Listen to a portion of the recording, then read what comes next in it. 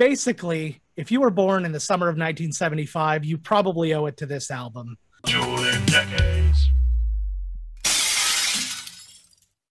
All right, Good man. Chris, You jump out to a three to one lead going into our final two point round. That's the music round. Uh, you have the option. Do you want to start off or do you want to defer? Uh, since I just went, I will defer. Uh, Joe, you have the honors. to Start this.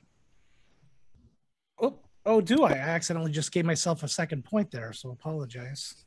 There we go. Um, I don't apologize. You know what? Screw everybody.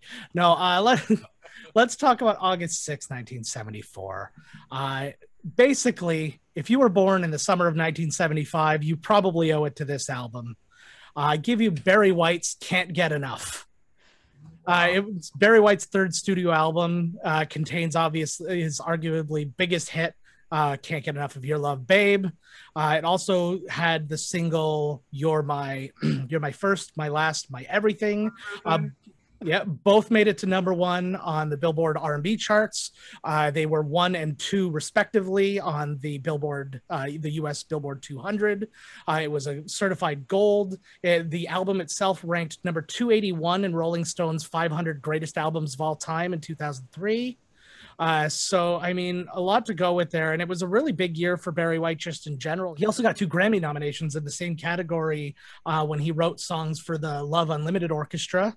And he also had a uh, movie that he scored and sa- did the soundtrack for called The Together Brothers. So he was kind of on fire in uh, 74. And it all, well, you know, it all started with this bad boy. Can't get enough of your love, babe. Babe. Gotta love it. Barry White is great. All right, guys. So my music selection this week has actually been credited as the first release from the funk metal genre. And it's an album that kickstarted this band all the way to the Rock and Roll Hall of Fame.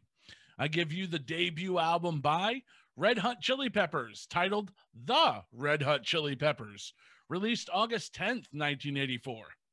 A big single, the big single off the album is the infectious grooves of Get Up and Jump, although True Men Don't Kill Coyotes had a video made for it and actually received some airplay and support from MTV, which helped support the band and expose them to millions and millions of new fans.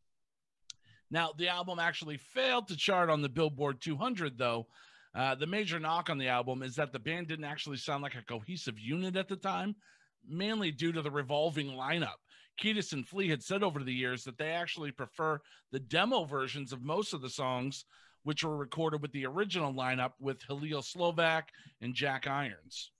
Uh, a review I found in the Orlando Sentinel by Richard Dettendorf reads A mix of funk, Tex Mex rock, and bits of acid rock.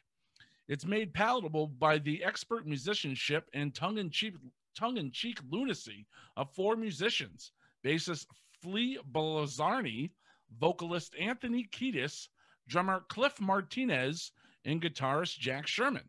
They live up to the description red hot when Kiedis sends machine gun like bursts of lyrics through the wires, as on the up tempo Get Up and Jump. But you don't want to dance as much as you actually want to jump. The tunes range from deranged jive spells to mocking protests. And then the article actually closes with the quote uh, The music burns on the way down, but it's worth the pain. I give you the Red Hot Chili Peppers in stores August 10th, 1984. Okay. California. All right, Mancrush, why don't you wrap us up on this game with your music selection? All right. First off, I think this is great because we have a band here. We're finishing up with music, and all three of us came with three different genres, which doesn't always happen. Like we'll get three of the same shit, but everything's different here. So let's go to August 9th of 1994, one month before the debut, bit one month before his debut album dropped. We got the lyrical stylings of this legend a month early via the release of his first ever single. And listen, like up to this point in my life, I was like 15, 14, somewhere around there. I predominantly listened to rock, metal, punk, alternative, whatever. But I was never that big into rap at all, like to this point.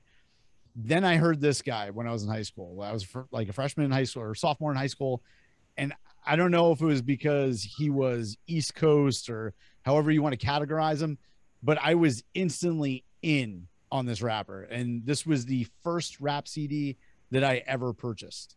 I still have it in my collection over there. Uh, this single's release, it put this guy on the map. It put his label Bad Boy on the map, and even like even the critics loved this song. Every every review I found in the papers, I didn't find one that said it, this was a shitty track at all. This is 1994, so obviously this was a huge video on MTV at the time. It was playing constantly.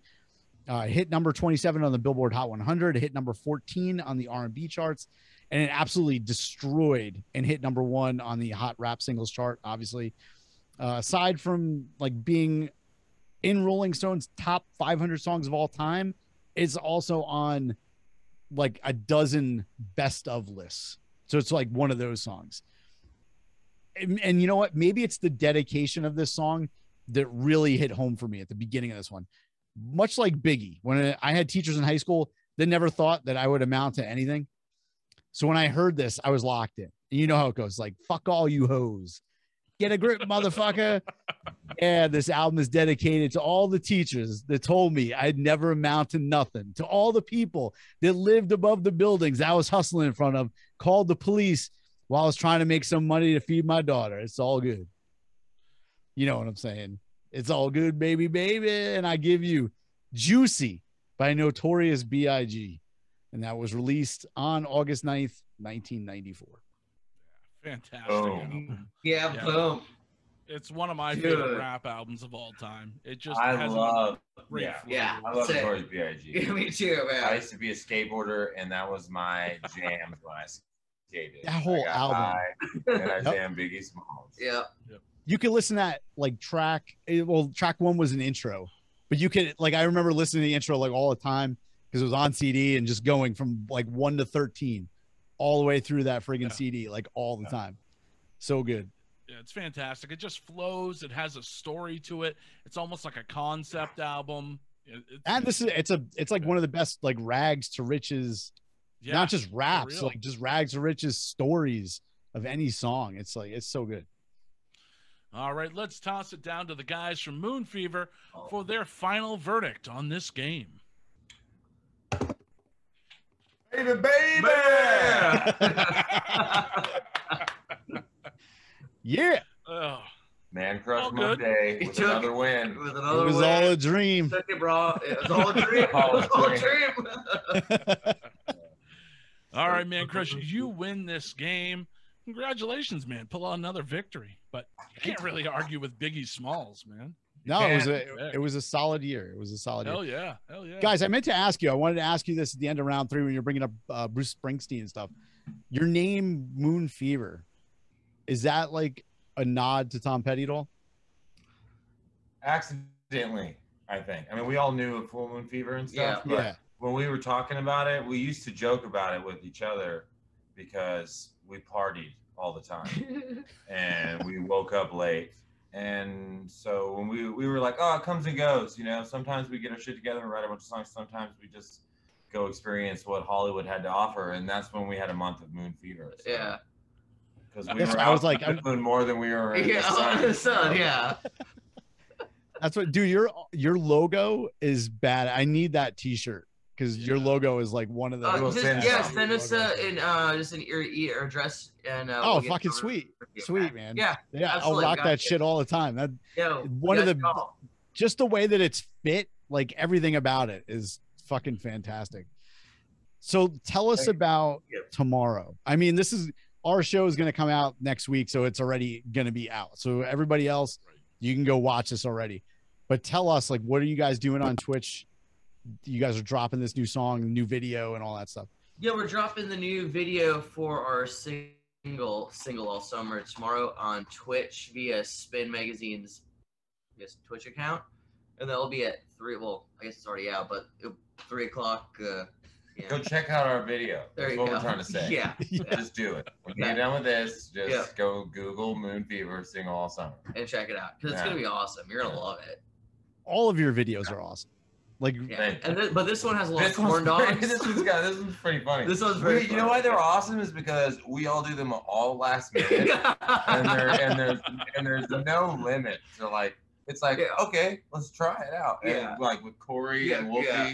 they're crazy. Like we're crazy. Yeah. We'll travel all over the place to play music. They'll travel all over the place if they bring to bring their camera. So yeah. we're like, let's go to the middle of fucking nowhere with a Yeah. car and almost get shot by gangsters in the desert, but we're gonna get a video out of it. But does it look Sweet. great? Absolutely. Yeah. Let's wait, has that actually happened? it. Yeah, Yeah. that happened at the Yeah. payphone The video. payphone video. We were in jo- we Yeah. were out in the middle Palm of Desert. Yeah, Palm Desert. And we oh, had Oh, this- dude, I know that area. All right, you got to tell this. Like, so what what happened? We had this very expensive historic car Yeah. that we rented that we were not allowed to drive in the desert. Yeah. By the way, Sorry, by the way, just if you're, taking it if you're around watching Venice. this. Yeah. we're just cruising around Venice for a couple days. Yeah. So yeah, it's, it's late at night. It's pitch black. We got all these cameras. It's just us and a couple questionable questionable drive-bys went by. and we- Yeah, where we they would cut the headlights and they would. Yeah, it was. It Yeah, a little- car with its headlights cut off. Right and then rolled up on rolled. us, pa- yeah. yeah, it was. Yeah, it was fun. It's beautiful out there. This the the video for Single All Summer we did in a very tiny town, my hometown, in the Bible Belt of Texas, called Amarillo, Texas, and we went to the good old home plate diner Which great burgers and great Kern dogs. and current dogs. And uh, Free plugs. Nice. yeah, that's what. I, and uh, I met my what? oh wow, yeah. Wait, what were you saying? You met what? What? You can't stop. What, like, Mitch would you met, say you met? met somebody there. yeah, that was a joke. Um, was so- Oh. yeah, that was a joke. Uh, you gotta watch the video and you'll get all this. These, Single these All Summer. jokes. Yeah. Uh, yeah, I mean, talk about- dude, all of them are on YouTube, so you guys can just check out Moon Fever and just watch them all. They're all good. All their all your songs are roughly like three minutes long too, and they they just smoke right through. You guys are like real. When they they first pitched you guys to us, and I listened to, I think the first one that popped up was Cocaine. I was ten seconds into the song, like after the the whole intro part, and I was like sold. I was like, let's like- do it. You're just like boom. Yeah, I was like, "This is fucking great." I was like, "Let's let's go for it." And I've been listening to that song on my way home from work. It's definitely brings you up after a long shit day of work. That's Just good wanna- to Hell yeah, man. that's I'm not gonna man. say you want to do cocaine, but you could live through somebody else doing cocaine. It's a and vi- feel yeah, it's about it. vicariously too. You would, Yeah. you, wouldn't, you would be blown away by by uh, how much people love that to ask us about that after the shows. Yeah. Like, well, how much cocaine did you do before? I've had a biker lady show me some show me some stuff through Yes. her boobies one Yeah. time. We Yeah. can cuss on here, so I can see that. Yeah, we can. Yeah, say- you Oh, can- yeah. She's like, Yeah. I love that song, cocaine, and it had some in there. Yeah. And I was like, uh, you want to buy a shirt or? Uh... We got cutoffs. So you guys just finished up touring with uh with Hinder, right? Or are you still Correct. yes. you just finished tell us about that tour like how that went with them. Anything crazy? We always tell, ask people. I think you guys are the the you guys would tell us the stories i think. If anything crazy happened you would say it. Because we get we do get a lot of bands that are kind of shy about saying it. I don't know if you guys would be. Like Uh, what- There's what some was- stuff you just can't say. Well, there's a bunch of things I can't say. No, I'm just joking. No, no, no. No, um, well, the shows were all unreal. Like, the crowds were amazing. Hinder is so sick yeah, to those guys with. are really cool. Yeah, super, super, super cool guys. Um, Oh, the last night they pranked us. oh, yeah, the, yeah, yeah. So- that's, a- that's a great story. bands, you know, they they'll prank the openers when they go on tour with them. So it's our last night, and uh, we were waiting for them to see what they were gonna do because we heard they were gonna prank us. But the first thing they did was they took one of Greg's rack, rack tom. He only has two, so they took one of his primary drums. Yep. Just took it off Just stage. off stage. In the Per- middle of- second song. Second Second, song. song. Second song. the Well, set. and then, then they brought shots. Yeah. So they kept bringing shots every time they took. But they eventually, the last song, they even got, he even grabbed his guitar and cut Yeah, and cut- strings And cut my my two my E my A on the on my guitar. while we were playing. Well, And in the middle I, of the set. I was in the crowd singing and I had no idea. Yeah. I just thought Mitch was getting it, but then we made it out. Oh no, we made it out. I looked at the guy and I said, "Cut the strings. I don't need them."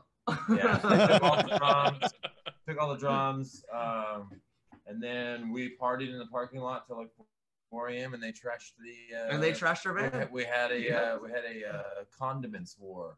I woke up the next morning and I It's walked always out of the hotel and there was about I'm gonna be I'm gonna be give you an honest estimate here at about three thousand Taco Bell hot bags. I'm I'm being dead serious. I am dead ass serious. There was bags of just Taco Bell condiments everywhere. Pretty good. Yeah. Well, they like actually at the Taco Bell by me now, they started charging you to get like more than Mm. two. Oh well, I bet what happened was Mitch was like, "Oh, you're gonna charge me? Then I want four bags." I mean, that does sound like something I would do. I'd be like, oh yeah, Last okay, night well give me all the, the yeah. sauce you have then. Okay. what do you have because left? me and Hinder are gonna have a hot sauce battle. Let's go. Which, which could get dangerous with hot, especially some of those hot sauces. well, What do I you- mean, if you would have saw our van, you would have known that they won. It's the experience. It's the experience going through. What do you guys have coming up after this? Can't say anything about that. Uh, Um, Definitely check out our new single, "Single Summer." Uh, we probably will be touring soon. Um, just keep up to date on our social medias for you know more tour dates, more drops, and um, yeah. Moon, Boom. sweet Moon. Fever official, baby. Check us out. When are you guys coming to the East Coast? You coming? Like, is there anything sort of scheduled up towards New York? I hope Same. we don't know yet. right. We don't I haven't know. heard anything. Um, I I'll- mean, I'll we'd keep love looking. to to all the people out there. Hey, Moon Fever, ready to go. I'll I'll definitely keep looking for that. And I don't know, like you guys are in a hotel right now. We've had like a great streak of like uh Brendan from Wheatus played us Teenage Dirtbag acoustic. Uh Tom Higgenson from uh Plain White T's just did one a couple weeks back. Do you guys have a guitar? Can you can you pop out an acoustic uh jam in I here? don't think we have one here. yeah, Ah, I, the one I had- all the one I acapella. have, I put at Don's house. Otherwise, we would have. That's all have- right. I figured Okay. I, I there's no shame in asking. No, no, no. If we, hey, if we had one, we would have done it. we'd Yeah, we would have done it in a second. Yeah. because I actually I heard you guys do Fever or no, uh not Fever. Um, what the hell? What? Yeah, I think it was. It was it Fever that you did acoustic. I saw it online. Maybe. Maybe. And it was- it was fucking amazing. So if you guys can't hear it here, but like go Google that one. It's on YouTube. Uh, just look up Moon Fever Fever acoustic. It's fucking awesome. I guarantee it, Thanks, man. I appreciate that. dude. I, seriously, your your stuff is great. I can't uh, I can't wait till you know everything opens full on. You guys come out East Coast, definitely want to hit that up. You guys are uh, you guys are great. Thanks. Yo- Well, we'd love to. We'd love to do that. The only Well- thing I'm anticipating almost as much as finding out uh, the details on your uncle's history, if we can get Yeah, that. I one. know. Oh, okay. hold on. Hold on. Let me see if I can get on the phone. Where's my phone? Oh, my God. No, I don't know where it is. All right. Sorry. Ah, that's We'll, we'll if we we'll do this again and we'll we'll get to the bottom of it. Yes, We'll make It- it a running thing, you know. we'll do it like before the first round. I think everyone's like on the uh, the edge of their seats. They want to know this. Yep. Are you texting him right now? You're like, dude, gonna, seriously, hold on. Wait. are you a spy? All right, hold on. We'll just find out real quick for the people. Oh, straight to Oh. voicemail. Oh man. He's a spy, bro. He's not gonna pick up. When you finish Sure. recording, you may hang up or press 1 for more options. Leave the message. Hey, The we one- just wanted to know if you were a spy or not. If you can let us know that, please get back to your nephew, and he'll let us know. Inquiring minds need to know. Yeah, like the whole audience, we're we're really we're all sitting on the edges of our seat. We need to know this. All right, thank you. So sorry, Uncle Jim. Uh, well, we tried. We tried. We tried. What can you do? But dude, thanks for coming on. Thanks for giving me the win. I didn't even think 94 had it in it, but it did. We had Baby, apparently did. baby. Baby. Yeah, thanks so much for having us, guys. Thank you. Take it easy. Best of luck with everything, and we'll be in touch, guys. Thanks so much. See ya. Take care, guys. Have a great night. You too. All right, Mark. Oh, my legs are so fucking sore. dog.